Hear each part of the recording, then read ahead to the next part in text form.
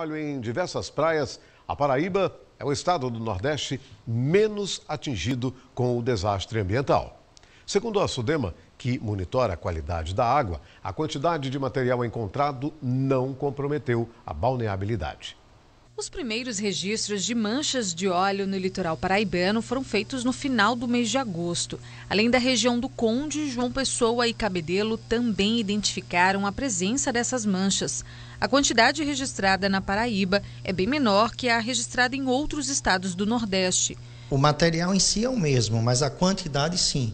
Então, a Paraíba, em relação aos demais estados do Nordeste, foi o estado que teve a menor quantidade de petróleo derramado em suas praias. O material é tóxico e pode causar danos à saúde da população, além de impactos ambientais.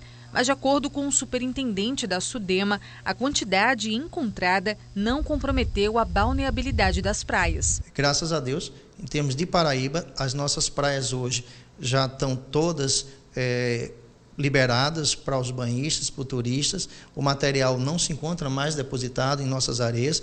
O que tem são pequenos fragmentos, material é ínfimo em relação ao que veio. O superintendente disse ainda que um grupo formado por representantes da Sudema, Capitania dos Portos, Marinha do Brasil, IBAMA e secretarias de Meio Ambiente de João Pessoa, Conde e Cabedelo estão trabalhando em conjunto no monitoramento do litoral. A gente intensificou nosso trabalho em conjunto com IBAMA, ICMBio, com as prefeituras municipais que tiveram seus litorais afetados para fazer o monitoramento e o controle diário para saber se novas manchas de petróleo estavam vindo ao nosso litoral e com relação à limpeza das praias, como os procedimentos estavam ocorrendo. Cláudio Almeida foi um dos biólogos que participou da vistoria técnica em Picãozinho.